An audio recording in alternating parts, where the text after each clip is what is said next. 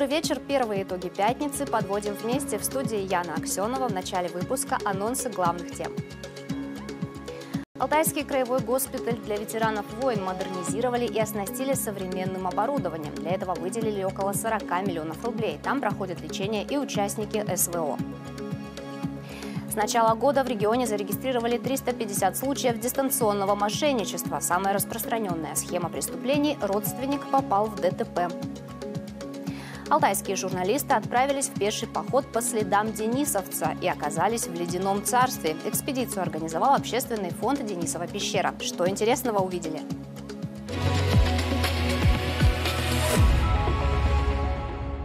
Начнем с новостей медицины. Алтайский краевой госпиталь ветеранов войн получит новое оборудование. Для этого выделили около 40 миллионов рублей. Во-первых, медучреждение по распоряжению президента России включено в федеральную программу «Оптимальная для восстановления здоровья медицинская реабилитация». Оттуда финансирование более 30 миллионов. Часть оборудования уже приобрели на средства краевого бюджета. Выделили около 7 миллионов по распоряжению губернатора региона Виктора Томенко. Помещение мы уже да, приготовили, мы освободили, я некоторое переселение провела, и они уже готовятся, вот э, ремонтируем, и думаю, вот к моменту закупа они уже будут готовы. Случае... Всесторонняя поддержка ветеранов войн – это задача Владимира Путина. И это в том числе укрепление материальной базы медучреждений, чтобы военнослужащие, прибывшие из зоны СВО, проходили лечение и реабилитацию в комфортных условиях. Важно это комплексность, то есть сразу а, на несколько функций влияем для того, чтобы человека ну, реабилитировать и социализировать в обществе. Поэтому задача расширить наше отделение реабилитации, сделать его современным. Так, в нашем госпитале ветеранов боевых действий лечат при помощи виртуальной реальности и биологической обратной связи. И ежегодно проходят такое лечение более 6 тысяч человек. Рассказывайте о своей деятельности потому что это очень важно для тех э, ну, сотен, а я думаю, со временем тысяч наших земляков, которые будут возвращаться, надо знать, что здесь дома ждут, дома помогут, дома будут восстанавливать, реабилитировать и так далее. Телевидение мощнейший э, организатор мы, мы свяжем, и популяризатор. Мы приходите на Вести, приходите Хорошо. на Катуню, ко всем приходите. Хорошо, мы и продолжаем. Партию гуманитарного груза в зону СВО отправят сегодня волонтеры движения «Сибирь своих не бросает» совместно с депутатом АКЗС Максимом Банных. Подробности расскажет Елена Самарина. Она на прямой связи со студией. Лена, здравствуй, ты в эфире. Яна. Здравствуйте, да, действительно, очередная партия гуманитарного груза отправится в зону специальной военной операции уже сегодня. Вот за моей спиной сейчас э, вторая фура, ее загружают, наполняют всем необходимым, что собрали волонтеры, жители Алтайского края для наших бойцов. Э, фуры, две фуры всего отправят, это примерно 40 тонн груза. Что в них входит? Э, это для госпиталей матрасы, костыли, одеяло – также для наших бойцов э, сухпайок, конечно же, тушенка. Кроме того, печки, буржуйки – беспилотные летательные аппараты и, ну, конечно, подарки к 23 февраля как раз посылку должны доставить. Небольшие подарки собрали жители нашего региона. Это наборы для бритья. Приятное, но все-таки мелочь ко Дню защитника Отечества для настоящих наших э, защитников, которые сейчас выполняют боевые задачи. Кроме того, здесь есть автомобили, кроссовые мотоциклы, с помощью которых э, операторы беспилотных летательных аппаратов смогут выполнять боевые задачи большое количество маскировочных сетей. И по словам волонтеров, которые отправляют сегодня груз, в маскировочных сетях э, нуждаются наши военнослужащие особенно, потому что они быстро изнашиваются. И подробности об отправке груза мы расскажем в следующих выпусках новостей. Яна, у меня пока все. Передаю тебе слово. Лен, спасибо. Ждем тебя в редакции и продолжаем.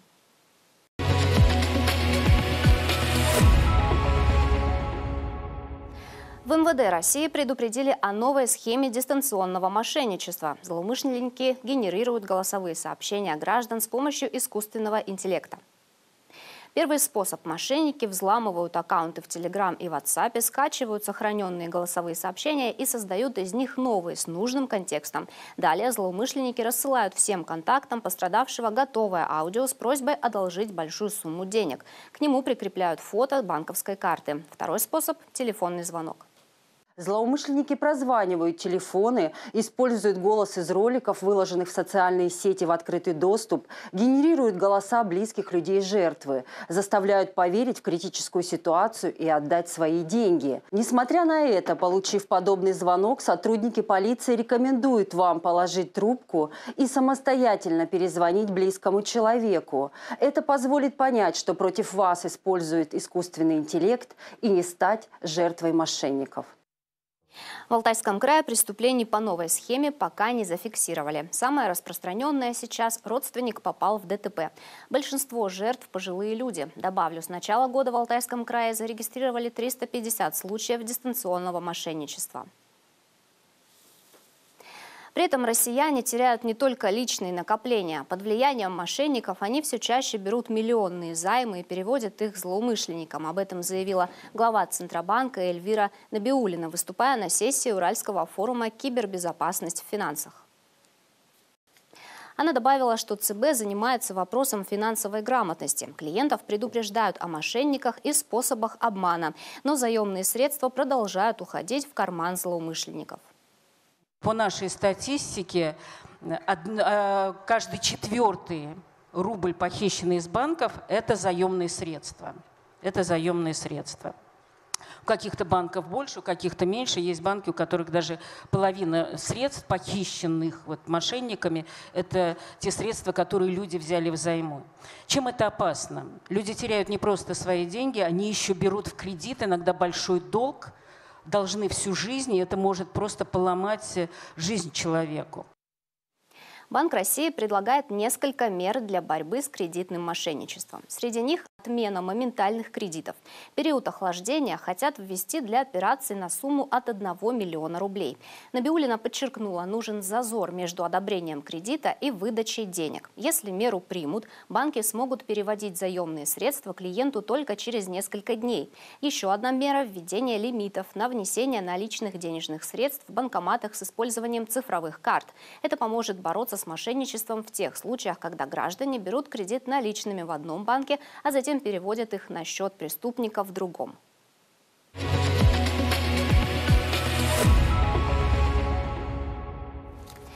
Алтайский край – один из регионов, в котором туристы хотят отдохнуть в этом году. К такому выводу пришли эксперты Сбераналитики. Они исследовали, где россияне планируют отдохнуть в лидерах Краснодарский край, Санкт-Петербург, Москва, Крым и Алтайский край. Действительно, достопримечательностей в нашем регионе немало, как и туристических маршрутов. Вот, например, алтайские журналисты отправились по следам Денисовца. Это название пешей экспедиции, которую организовал общественный фонд «Денисова пещера». О настоящем царстве льда и снега в следующем сюжете. Обрывистый и неприступный – это Шинок на Алтайском. Название в полной мере описывает характер реки на вершине Бащелакского хребта. В верхнем течении она петляет по заболоченному плато, затем резко устремляется в узкий каньон. Протекает между сходящимися скалами, а в среднем образует сразу несколько водопадов. Отправляемся в настоящее царство льда и снега. Проехать можно только на УАЗе. Везет группу журналистов опытный водитель Александр Ломакин, который всем представляется не иначе, как Степаныч. Рассказывает, что еще ребенком ходил на эти призрачные водопады, а сейчас водит на них экскурсии. Более 10 километров по непроходимым дорогам машина то и дело подпрыгивает, переваливается и наклоняется. Настоящий адреналин для туристов и привычное дело для Степаныча. Каждый поход у него отдельная история. Смотрим что-то свежее это. Кусты наломанные и в колодине привалено. Под, подходим. Корова, ну, молодая, телка или бычок, задраты, медведь. Задерет, потрохась ей вытаскивает все деликатесы, если корова вымя съедает, уши отъедает, а это все закладывает. И она лежит, квасится. Потом, как запашок пошел, все, и вот деликатес. Ну все, посмотрели, походили, пошли дальше, идем туда на водопады сходили, обратно идем. Слышим какой-то прям такой треск влево, ну, влево так, в гору. Что такое? Постояли, головами покрутили. Маленько проходим по тропе. Смотрим, корова лежит. Еще одна. И вот начало тропы до водопадов. Для такого путешествия важно правильно выбрать одежду. Надеть теплую куртку, лыжные штаны, непромокаемые варежки и, главное, теплую обувь, желательно высокую. Ходить придется много. Конечно, экипировка должна быть соответствующая. Зимой дорога до водопадов еще более опасна и непредсказуема. Снег скрывает тропу, поэтому острые камни, а также воду, протекающей рядом реки, совсем не видно.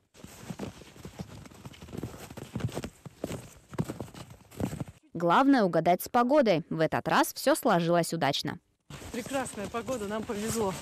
Первый водопад каскада, который встречают на своем пути туристы – ласковый мираж. Летом он не шумный, поэтому его появление неожиданно. Этим и объясняется название. Кстати, оно не одно. Еще есть скаты и трамплин. Высота этого водопада 10 метров. Вода здесь не падает вниз, а скатывается под наклоном. Она кристально чистая, поэтому ее можно пить. Следующий водопад – рассыпной, или, как его еще называют, йог. До него почти 3 километра. Ну вот он и второй водопад. Привет, йог!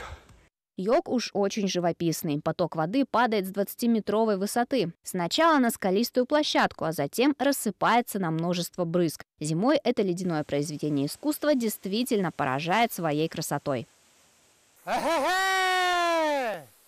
В такой атмосфере самое время помедитировать, очистить мысли от всего лишнего.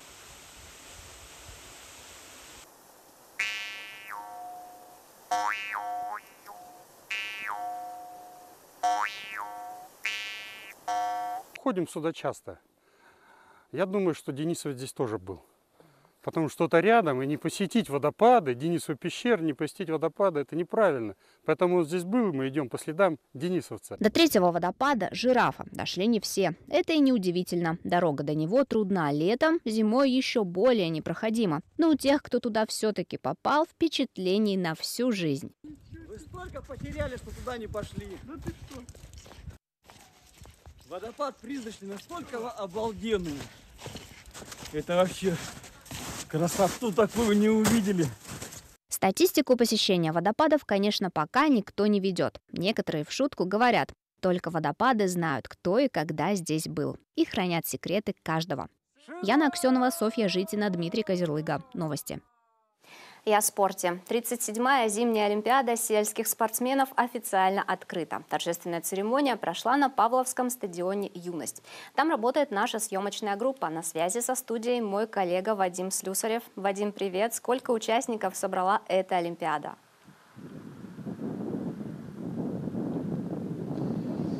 Э, да, Ян, привет. 759 участников из 43 районов края. Только вдумайся, какой масштаб, хотя сейчас и не скажешь. Стадион уже пустой, потому что э, открытие, э, торжественное открытие прошло, и все уже разошлись по домам. Но что впечатляет в первую очередь, что столько участников, несмотря на лютые сибирские морозы, сюда приехали в Павловск. И мы уже говорили в эфире в 10 утра, что э, интрига этого дня была, будет ли э, лыжная гонка э, на 5 километров у мужчин и на 3 километра у женщин. Ее переносили дважды, но в итоге она состоялась.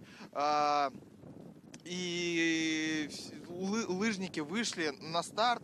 Э, победить э, среди мужчин э, победили, э, победили представители Шипновского района. У женщин, к сожалению, я сейчас не помню, но тоже э, точно помню, что на старт вышло 63 лыжницы. А если еще говорить о соревнованиях, то на сегодня они завершились. Э, сегодня спортсмены отдыхают. Ну а завтра новый день, который начнется рано, в 7.30 утра начнутся соревнования по рыболовному спорту.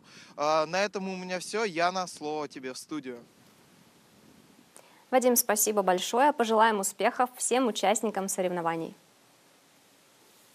На этом наш выпуск завершен. Еще больше новостей на нашем сайте katунь24.ru. С вами была Яна Аксенова. Увидимся в 20.30.